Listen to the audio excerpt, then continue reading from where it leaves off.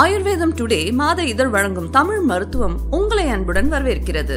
கிழநெல்லி செடியை வளர்த்தால் பல்வேறு பயன்கள் பெறலாம். பசுமையான இடத்துல பார்க்கவே அழகா இருக்கக்கூடிய தாவரம் தான் கிழநெல்லி இதோட இலை கசப்பாவும் வடிவத்துல ரெண்டு இலை வரிசையும் சின்ன சின்ன பூக்களையும் கொண்டிருக்கும். மஞ்சள் காமாலையில இருந்து பூச்சிக்கடிகள் வரைக்கும் இதோட மருத்துவத்தை சொல்லிட்டே போகலாம். கிழநெல்லி செடிக்கு கீழ்வாய் நெல்லி மற்றும் கீழ்காய் நெல்லின்னு சில பெயர்களும் இருக்கு.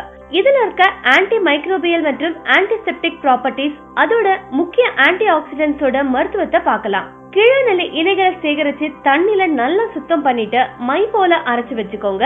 இதுல இருந்து டெய்லி காலையில உருண்டை பண்ணி தண்ணி மோர்ல கலந்து குடிச்சு வர மஞ்சள் காமாலை குணமாகிடும் மேலும் இந்த வழிமுறை சர்க்கரை நோயையும் கட்டுப்படுத்தும். கிழநிலை வேர்ல இருக்க ஹீலிங் ப்ராப்பர்ட்டிஸ் உடல் சூட்டு தணிச்சு குளிர்ச்சியாகவும் உதவுது.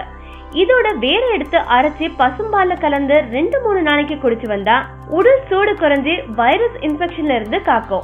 கீழநெல்லி இலைகளோட கரிசலங்கடையும் சேர்த்து அரைச்சு முப்பது நாட்கள் தொடர்ந்து சாப்பிட்டு வந்தா சிவப்பணுக்கள் உற்பத்தியாகி ரத்த சோகை நீங்கும். மேலும் இரும்பு சத்து இன்க்ரீஸ் ஆகி உடல் பலப்படும். கல்லீரல் கோளாறும் சரியாகும். தோல் பிரச்சனை உள்ளவங்க ரெண்டு கைப்பிடி கீழநெல்லி இலைகளை எடுத்து அதுல கல்லுப்பு சேர்த்து அரைச்சு உடல்ல தேய்ச்சி குளிச்சு வந்தா தேமல் பூஞ்சை சொறி சிறங்கு பிரச்சனைகள் சரியாகும். சிறுநீரை பெருக்கும் ஆற்றல் கீழநெல்லிக்கு உண்டு. மேலும் தலைவலி கட்டி வீக்கம் இதெல்லாத்தையும் ஹீல் பண்ணிடும். சிறுநீரை பெருக்கிறதுனால உடல்ல இருக்க டாக்ஸின்ஸ் எளிமையா வெளியேற செய்யும். இதனால சிறுநீரகம் சீரா இயங்கவும் செய்யுது கீழநிலை இலைகள் அரைச்சு மோர்ல டெய்லி கலந்து குடிச்சு வந்தா வயிற்று புண் மற்றும் வயிறு சம்பந்தப்பட்ட எல்லா பிரச்சனைகளும் தீரும்.